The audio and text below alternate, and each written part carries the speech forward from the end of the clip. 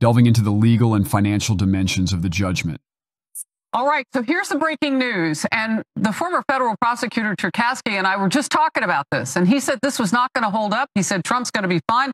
So the court has just ruled that the bond, that $175 million bond that Trump put up, will stand despite the fight that the woman on the right, Letitia James, the Attorney General of New York, was trying to slide in. And, and what did Cherkasky call it? He called it, she was trying to play a legal technicality saying that the insurance company that Trump was using wasn't going to have the resources to back up that bond should he fail an appeal.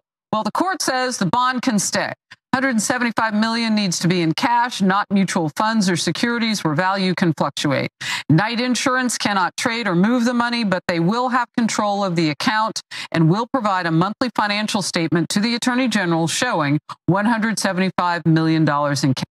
Highlighting the significance of legal protocols and adherence to contracts. The court's endorsement of the bond exemplifies adherence to legal norms and contractual duties.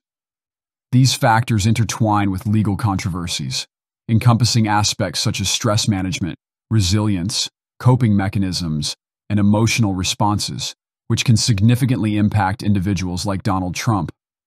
The fiscal accountability within legal contexts further explores the potential ramifications of this verdict on future legal scenarios, exploring how legal entanglements involving public figures influence public sentiment, media portrayals, and societal dialogues, not only shaping the perceptions of the individuals involved, but also molding public views on law, justice, and accountability.